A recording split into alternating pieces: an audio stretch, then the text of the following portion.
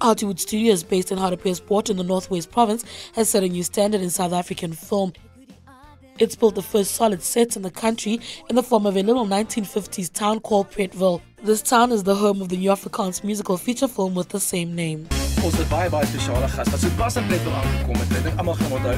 En die elektriek is terug in die dorp. O nou?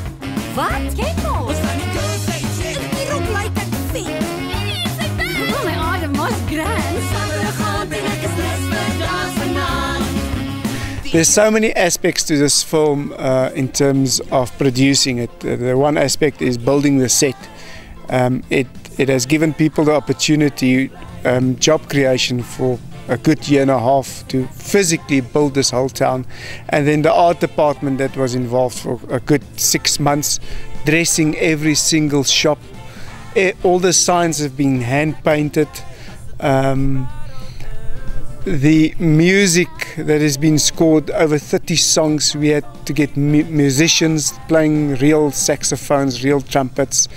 Um, the wardrobe department that has worked on this film clothes costumes that had to be designed makeup. And in some days we had over 180 people on set that had to be fed. So it is a massive project for a small south african company Pretville is a fully functional town with a town hall, a diner, and other shops that will be open to the public in November 2012. The town hall will be turned into a movie theater, allowing the public to watch the movie where it was shot and have a bite to eat in the diner. This is a 1950s musical not being seen ever in South Africa the way we have shot it, designed it, produced it, and translated it. I think for South African films, it's very important that one needs to support them. Uh, it doesn't matter if it's a Xhosa, Zulu, Tswana, English, Afrikaans film. It is very important for the public to support our local films.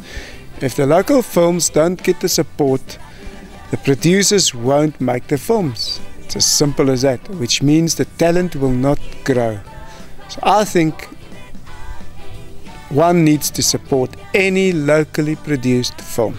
And the, the, the good thing about Pretville is that it's being subtitled. So there is absolutely no excuse. Pretville opens in theaters on the 23rd of November 2012. Matshidiso Madia, EWN, Hartbeespoort.